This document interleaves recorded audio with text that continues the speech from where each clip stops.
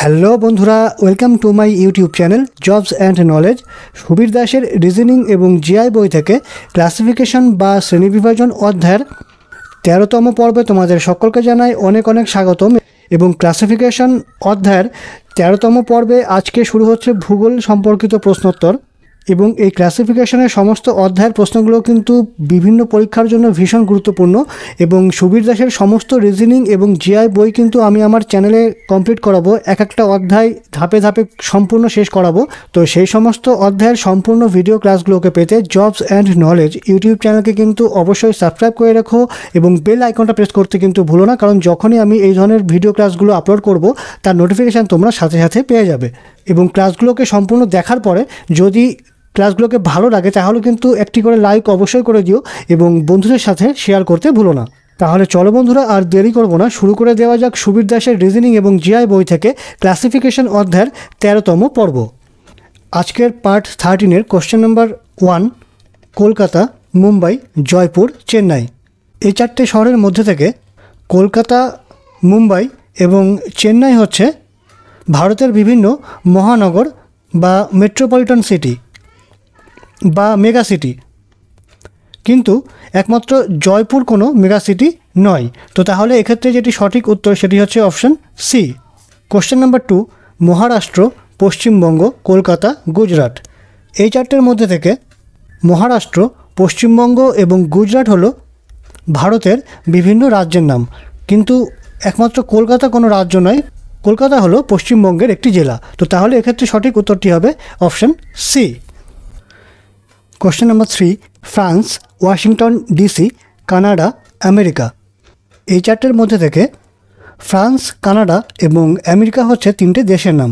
একমাত্র Washington DC হচ্ছে আমেরিকার রাজধানী, এটি কোনো দেশ নয়। তো তাহলে এক্ষেত্রে সঠিক উত্তরটি হবে option B question number four আরব সাগর, প্রশান্ত মহাসাগর আটলান্টিক মহাসাগর, ভারত মহাসাগর।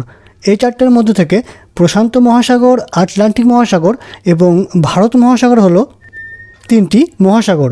কিন্তু আরব হলো শুধুমাত্র একটি সাগর বা সমুদ্র, এটি কোনো মহাসমুদ্র নয়। তো এক্ষেত্রে যেটি সঠিক উত্তর বা আলাদা, সেটি হচ্ছে option A. Question number five, বঙ্গোপসাগর, আরব সাগর, লোহিত সাগর গঙ্গাসাগর এই চারটের মধ্যে থেকে বঙ্গোপসাগর, আরব সাগর এবং লোহিত সাগর, এগুলো হচ্ছে তিনটি সমুদ্রের নাম।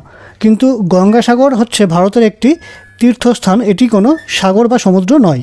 তো তাহলে এক্ষেত্রে সঠিক উত্তর বা আলাদা হচ্ছে অপশান ডি। তো বন্ধুরা, এই সমস্ত ক্লাসগুলো যদি তোমাদের ভালো লাগে তাহলেও কিন্তু ভিডিওটিকে অবশ্যই লাইক করে দিও এবং বন্ধুদের সাথে অনেক অনেক করে শেয়ার করো এই ভিডিও ক্লাসগুলোকে, যাতে তারাও এই ক্লাসগুলো থেকে বিভিন্ন পরীক্ষার প্রিপারেশান নিতে পারে। Question number six Ganga, Brahmaputra, Sindhu, Thames. এই চারটের মধ্যে থেকে গঙ্গা, ব্রহ্মপুত্র এবং সিন্ধু হলো এশিয়া মহাদেশের বিভিন্ন নদী। অর্থাৎ এই তিনটে নদী হচ্ছে এশিয়ায় অবস্থিত। কিন্তু টেমস নদীটি হচ্ছে ইউরোপে অবস্থিত। তো তাহলে এক্ষেত্রে যেটি আলাদা বা সঠিক উত্তর, সেটি হচ্ছে option D. Question number seven Nepal, Sikkim, Myanmar, Bhutan. এই চারটির মধ্যে থেকে নেপাল, মায়ানমার এবং ভুটান হলো ভারতের তিনটি প্রতিবেশী দেশ। কিন্তু সিকিম হচ্ছে ভারতের মধ্যেই অবস্থিত। তো এক্ষেত্রে যেটি আলাদা বা সঠিক উত্তর, সেটি হচ্ছে option B. Question number eight Delhi Dhaka Tibet London এই চারটের মধ্যে থেকে দিল্লি, ঢাকা এবং লন্ডন হলো তিনটি রাজধানী। যেখানে দিল্লি হচ্ছে ভারতের রাজধানী, ঢাকা হলো বাংলাদেশের রাজধানী এবং লন্ডন হচ্ছে ইংল্যান্ডের রাজধানী। কিন্তু তিব্বত হচ্ছে একটা দেশের নাম। তো এক্ষেত্রে যেটি আলাদা বা সঠিক উত্তর, সেটি হচ্ছে option C question number nine Japan England চীন পাকিস্তান এদের মধ্যে জাপান চীন এবং পাকিস্তান হলো এশিয়ার তিনটে দেশ। কিন্তু ইংল্যান্ড হচ্ছে ইউরোপের দেশ। এটা এশিয়ার দেশ নয়। তো এক্ষেত্রে সঠিক উত্তর বা আলাদা হচ্ছে option B, England. Question number ten, Asia, Dhaka, Kathmandu Beijing এটি খুবই সোজা। এদের মধ্যে থেকে ঢাকা, কাঠমান্ডু এবং বেজিং হচ্ছে তিনটে রাজধানী। অর্থাৎ ঢাকা হচ্ছে বাংলাদেশের রাজধানী, কাঠমান্ডু হচ্ছে নেপালের রাজধানী এবং বেজিং হচ্ছে চীনের রাজধানী। কিন্তু এশিয়া হচ্ছে একটা মহাদেশ, এটি কোনো রাজধানী নয়। তো এক্ষেত্রে সঠিক উত্তরটি হবে option A. Question number eleven, Andaman, মিশর, লাক্ষাদ্বীপ, গ্রিনল্যান্ড। এই চারটের মধ্যে থেকে আন্দামান, লাক্ষাদ্বীপ এবং গ্রিনল্যান্ড হচ্ছে তিনটে দ্বীপের নাম। মিশর হলো উত্তর আফ্রিকায় অবস্থিত একটা প্রাচীন দেশ। তো এক্ষেত্রে সঠিক উত্তরটি হবে তাহলে অপশান বি, মিশর। Question number twelve Everest Himalaya Andes Alps এই চারটের মধ্যে থেকে হিমালয়, আন্দিজ এবং আলপস হলো তিনটি পর্বতশ্রেণী কিন্তু এভারেস্ট কোনো পর্বতশৃঙ্গ নয়। এভারেস্ট হলো হিমালয় পর্বতের সর্বোচ্চ শৃঙ্গ। তো তাহলে এক্ষেত্রে সঠিক উত্তর বা আলাদা হচ্ছে option A. Question number thirteen Khardungla, Nathula pass K two Zojila pass. এদের মধ্যে থেকে খারদুংলা, নাথুলা পাস এবং জজিলা পাস হচ্ছে তিনটি গিরিপথ। কিন্তু কে টু বা গডউইন অস্টিন হলো হিমালয়ের একটি শৃঙ্গ।